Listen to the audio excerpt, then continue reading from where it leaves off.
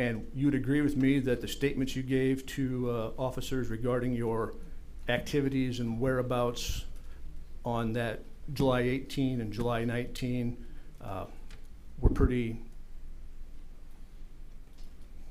sketchy. Object is argumentative.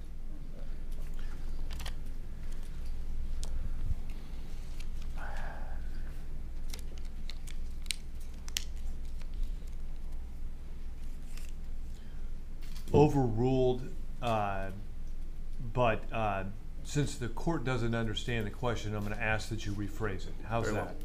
The details were few and far between as far as the specificity of your activities on the evenings of July 18 and July 17 to investigating agents, right? I thought they were pretty clear. You couldn't recall what night you got drunk and one night you stayed in the room, could you? I don't recall even saying that. And you're certain you worked on Monday the 16th? Yes, Positive. yes, Your work records will show that. yes.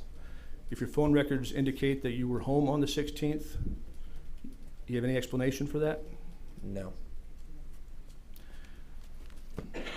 You sent Mollie a text message at 8:18 on July 18, 2018 that said my phone data straight up won't work. Do you recall that? yes, And she didn't respond, did she? no, she did not.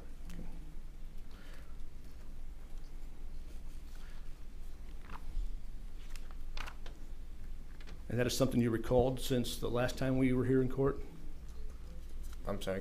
I That's don't- something you recalled since the last time you testified? I don't understand the question, I guess. Did I ask you that question the other day, Mr. Jack? Yes, And you didn't recall it then? I don't know if I recalled it then. So is Mr. Wilson going to come in here and tell us that that you were in Dubuque? Is that the deal? Objections calls for speculation on Sus- behalf of this witness. Sustained.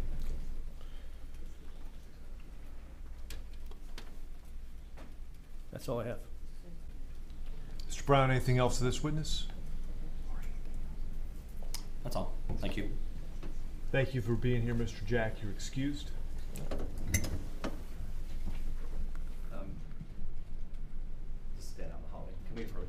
Yes.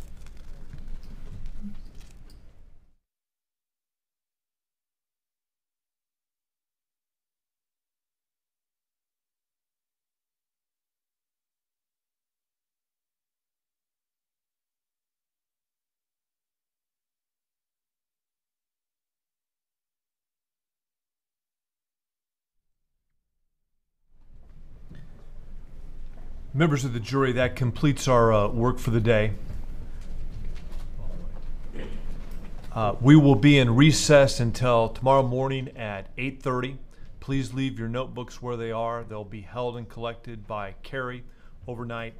Uh, before I send you on your way, I want to remind you of your admonition.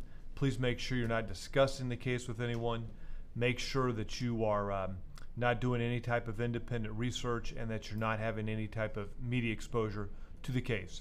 Have a good evening. We'll see you back here ready to go at 8:30.